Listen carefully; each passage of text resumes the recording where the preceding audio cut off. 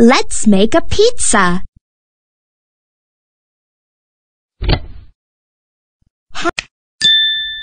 One half of the pizza. Two halves make one whole. Quarters. One quarter of the pizza.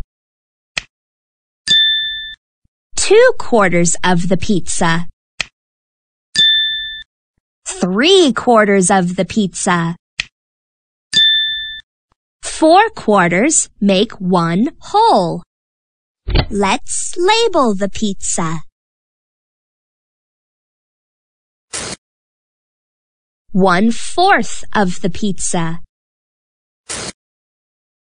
One eighth of the pizza.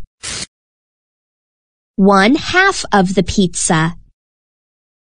Let's cut the pizza.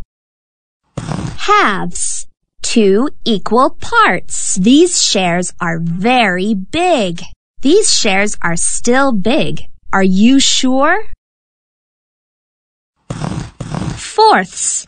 Four equal parts. These shares are still big. Are you sure? Eighths. Eight equal parts. These shares are small. They are just the right size to eat. Let's eat the pizza. Seven eighths of the pizza remains. Three fourths remains. Five eighths remains.